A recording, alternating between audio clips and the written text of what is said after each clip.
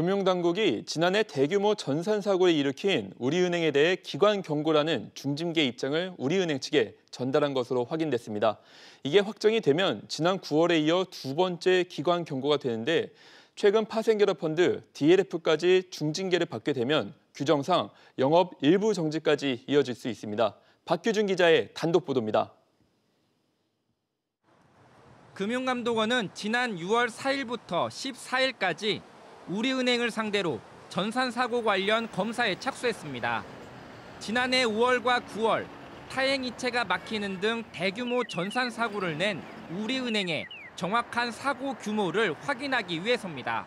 금감원은 검사 직후 우리은행에 사고 금액이 55억 원 규모라고 통보한 것으로 확인됐습니다. 관련 규정에 따르면 전산 사고 금액이 50억 원 이상이면 법인은 기관 경고 이상, 임직원은 직무정지 이상의 중징계를 받게 됩니다. 6월 달에 네, 오셔가지고 금융감독원에서는 일단 최종 금액은 그 55억 정도 된다라고 이제 저희한테 의견서를 주신 거죠. 금감원은 이 원안을 빠르면 이번 달 제재심의위원회에 올릴 것으로 알려졌는데 우리은행은 10억 원 미만으로 사고 규모를 소명한다는 계획입니다.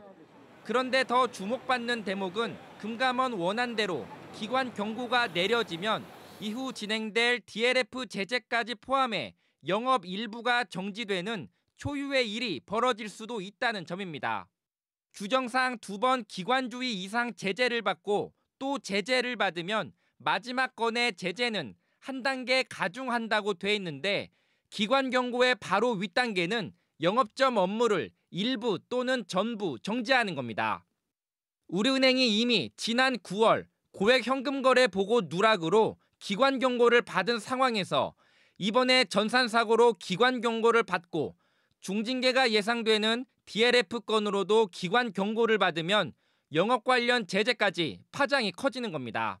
이런 줄줄이 기관 제재가 손태승 현 회장 체제에서 연이어 벌어졌다는 점에서 내년 3월 임기 만료인 손 회장 연임을 낙관할 수 없다는 관측이 나옵니다. SBS CNBC 박규준입니다.